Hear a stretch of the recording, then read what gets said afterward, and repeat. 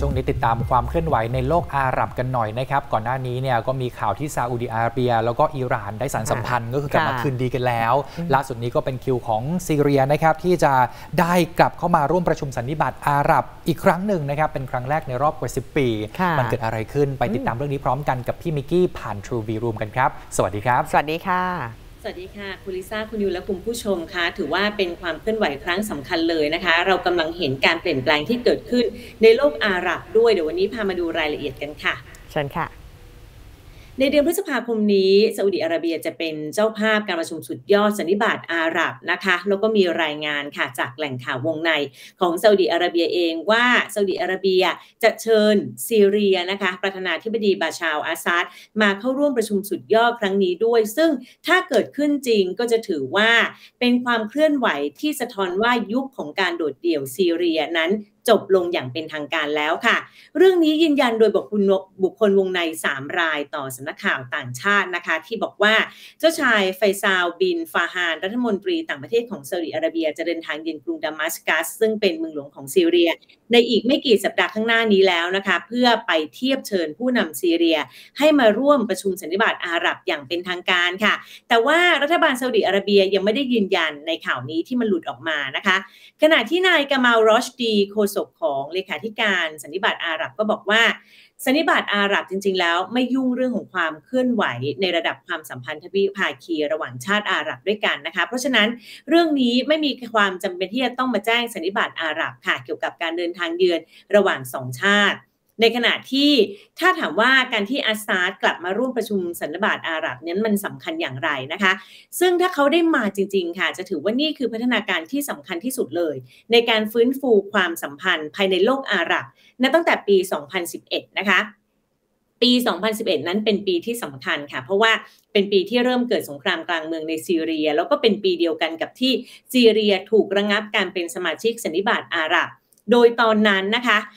รัฐบาลชาติตะวันตก แล้วก็ชาติอาหรับหลาย ๆ ชาติบอยคอรดจากกรณีที่นายอาซาดสั่งปราบปราม การประท้วงเพื่อโค่นล้มระบอบของเขาอย่างรุนแรง จนนำไปสู่สงครามกลางเมืองในซีเรีย ซึ่งตอนนี้ก็ดำเนินมากว่า 10 ปีแล้วค่ะ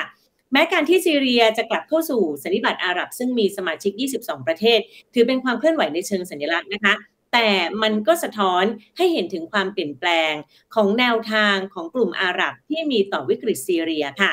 สำหรับสงครามกลางเมืองซีเรียมีมา 12 ปีแล้วนะคะ มีผู้เสียชีวิตไปแล้วหลายแสนคนค่ะ แล้วก็มีผู้เล่นทรงอิทธิพลจากหลาย ๆ ประเทศเข้ามาเกี่ยวข้องกับความขัดแย้งนี้นะคะ แล้วซีเรียเองประเทศก็แตกเป็นเสียงๆด้วยค่ะ จากวิกฤตที่มันเกิดขึ้น ในขณะที่เมื่อเดือนมีนาคมที่ผ่านมา แหล่งข่าวก็บอกกับสำนักข่าวรอยเตอร์สนะคะว่า รัฐบาลซาอุดิอาระเบีย และรัฐบาลซีเรียได้บรรลุข้อตกลง ในการกลับมาเปิดสถานทูตระหว่างกัน หลังสิ้นสุดเดือนรอมฎอนค่ะ กระทรวงต่างประเทศซาอุดิอาระเบียไม่ได้ยืนยันเรื่องข้อตกลงนี้นะคะ ว่ามีจริงหรือไม่ แต่บอกเพียงแค่ว่ากำลังมีการหารือกับกระทรวงต่างประเทศซีเรีย เพื่อกลับมาให้บริการด้านกงสุลตามปกติ แล้วแหล่งข่าวก็บอกค่ะว่าซาอุกับซีเรียคุยกันมามากกว่า 1 ปีแล้วนะคะ เจ้าหน้าที่คุยกันค่ะ เพราะว่า รัฐบาลซาอุดิอาระเบียมี list รายการต่างๆ ที่เป็นข้อเรียกร้องให้รัฐบาลซีเรียต้องทำตาม ปฏิบัติตามเงื่อนไขนะคะเพื่อกลับมาปรับปรุงความสัมพันธ์ระหว่างกัน ซึ่งก็รวมถึงเรื่องการประสานงานใกล้ชิดกันตามแนวชายแดน แล้วก็ปัญหาการลักลอบลำเลียงยาเสพติดที่ต้องแก้ไขด้วย ในตอนแรกก็รัฐมนตรีต่างประเทศซาอุดิอาระเบีย มีกำหนดจะไปเยือนซีเรียนะคะหรือไม่ก็เป็นฝั่งรัฐมนตรีต่างประเทศซีเรียไปเยือนซาอุดิอาระเบียค่ะ แต่ว่าต้องเลื่อนออกไปเพราะว่า มาเกิดเหตุแผ่นดินไหวครั้งใหญ่ที่ตุรกีแล้วก็ซีเรียไปก่อนนะคะทำให้เรื่องนี้ต้องมาเร่งด่วนแก้ไข แล้วก็ช่วยเหลือด้านมนุษยธรรมกับ 2 ชาตินี้ก่อนนะคะอันนี้เกิดขึ้นตั้งแต่เดือนกุมภาพันธ์แล้ว ขณะที่อียิปต์ค่ะ ซึ่งเป็นพี่ใหญ่ของสันนิบาตอาหรับอีกประเทศหนึ่ง ก็กลับมาติดต่อสื่อสารกับนายอาซาดแล้วเช่นเดียวกันนะคะ โดยทั้งสองชาติเมื่อวันเสาร์ที่ผ่านมาตกลงที่จะยกระดับความร่วมมือระหว่างกันด้วยค่ะ แล้วก็มีรัฐมนตรีต่างประเทศของซีเรียเดินทางไปเยือนกรุงไคโร เมืองหลวงของอียิปต์อย่างเป็นทางการครั้งแรก ในรอบมากกว่าหนึ่งทศวรรษด้วยนะคะเจ้าหน้าที่อียิปต์ก็บอกค่ะว่าการไปเยือนกรุงไคโรของเจ้าหน้าที่ซีเรียนั้นมีเป้าหมายเพื่อวางแนวทาง ให้ซีเรียสามารถกลับสู่สันนิบาตอาหรับ ผ่านการไกล่เกลี่ยของอียิปต์แล้วก็ซาอุดิอาระเบียได้นั่นเองค่ะ แต่แน่นอนนะคะว่ามีบางประเทศยังไม่เห็นด้วยนะคะอย่างสหรัฐ กาตาร์มองว่า ยังไม่อยากจะให้กลับมาสานสัมพันธ์ปกติกับนายอัสซัดนะคะเพราะว่าอ้างว่าอัสซัดยังใช้ความรุนแรง ในการแก้ปัญหาความขัดแย้งอยู่ แล้วก็จำเป็นต้องเห็นความคืบหน้า ในการแก้ปัญหาทางการเมืองของซีเรียก่อน จึงอยากจะกลับมาคุยด้วยค่ะทีนี้การติดต่อสื่อสารกันระหว่างเจ้าหน้าที่ซาอุดิอาระเบียกับซีเรียนั้น มันมีโมเมนตัมมีแรงผลักดันมากขึ้นนะคะ หลังเดือนมีนาคมที่ผ่านมา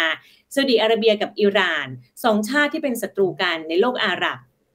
กลับบรรลุข้อตกลงครั้งประวัติศาสตร์ในการสถาปนาความสัมพันธ์ระหว่างกันนะคะ โดยมีจีนเป็นผู้ไกล่เกลี่ยค่ะ แล้วก็อิหร่านเองก็คือผู้สนับสนุนหลักของนายอัสซาดนะคะ การที่อิหร่านกับซาอุดิอาระเบียกลับมาสารสัมพันธ์นั้นก็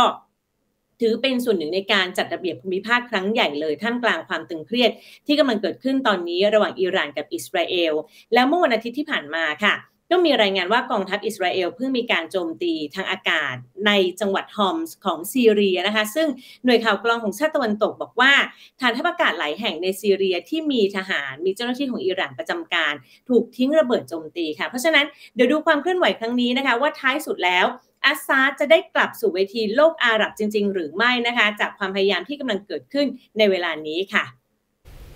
ครับขอบคุณพี่มิกกี้มากครับ ขอบคุณค่ะ ขอบคุณที่ติดตามรับชมรายการ TNN News ข่าวเที่ยงนะครับ อย่าลืมกด subscribe กดกระดิ่ง กดไลค์ กดแชร์ ทุกช่องทางออนไลน์ของ TNN ช่อง 16 นะครับ เพื่อที่คุณจะได้ไม่พลาดรับชมรายการสด และคลิปวิดีโออื่นๆที่น่าสนใจอีกมากมายครับ